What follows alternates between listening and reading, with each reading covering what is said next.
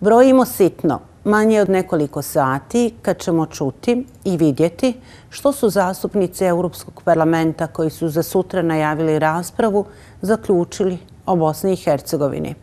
Kako stoji u agendi, bit će to rasprava o rastučoj politici ocijepljenja i djelovanju koje ugrožava Bosnu i Hercegovinu. U prijevodu, uglavnom o Miloradu Dodiku, koji je kakvog li absurda član predsjedništva zemlje koju zapravo želi rasturiti.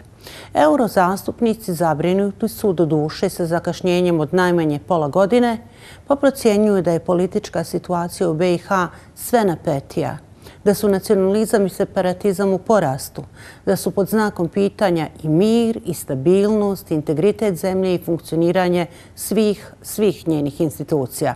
Dobro, to znamo. Ima li šta novo? Hoćemo li zapravo nakon ove rasprave dobiti konačno papir s osudama, upozorenjima ili vrijeme i da se zastupnici Europskog parlamenta malo uozbilje i umjesto mrtvih slova na papiru, kakva su zapravo dosad slali, donesu konkretne mjere i odluke koja će konačno zabrinuti Dodika. Jer kako vidimo, on se uglavnom naslađuje svakom strelicom koju međunarodni faktori odapnu prema njemu. Uz veliki odsmijeh, to vas podsjećam, a uz malu pomoć svojih vjernih sluga proslavio američke sankcije.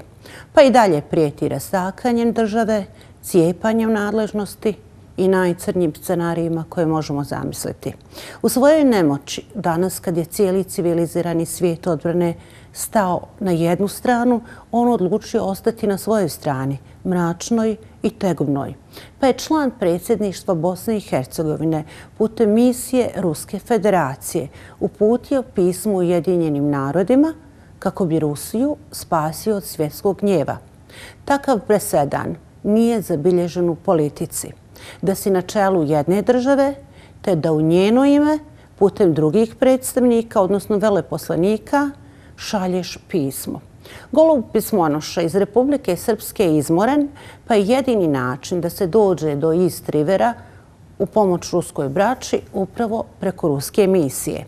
Kad pliva patka preko Save, u pismu uglavnom piše ne volim te više.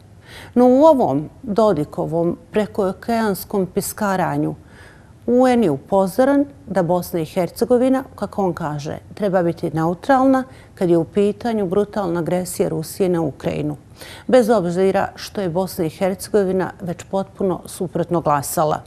Dobro upućeni kažu da je ovaj Miloradov nezapamčeni gest izazvao podsmijeh u ozbiljnim diplomatskim krugovima. Vjerovatno ni samom Dodiku više ništa nije toliko smiješno. Naročito kad je shvatio da je među 141 zemljom koja je glasala za rezoluciju Ujedinjenih naroda, a kojem se najoštrije osuđuje ruska agresija i zahtjeva da Kremlj odmah prekine upotrebu sile protiv Ukrajine, bila i Srbija. Ili ako hoćete, Aleksandar Vučić, koji je svoj glas dao kako kažu, 5 do 12, nakon što je stotinu puta protabirio poruke koje su mu stizali iz Brisela. Ruku na srce Vučić nije imao previše prostora, naročito kad je ruski predsjednik Vladimir Putin napravio gaf i nezavisnost ocepljenih regija Donjeck i Lugansk uporedio sa Kosovom. Tako se Vučić, koji se na početku nekako nečkao, sada konačno priklonio Zapadu. Odani partner, koji je zaigrao na sigurnu kartu. I vi se pitate šta je dobio Vučić za uzvrat. Jer cijena biranja strane nikad nije jeftina. Oni koji u političkoj igri, a kakvo igra Vučić, odaberu zapad, obično dobiju nagradu i to dobru nagradu.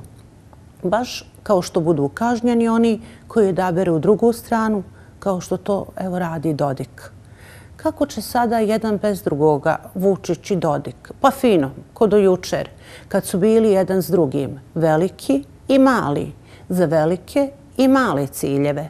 Vučić za ostanak na vlasti, a Dodik pa isto, da ostane na vlasti. Cilj je isti, sve su ostalo nijanse.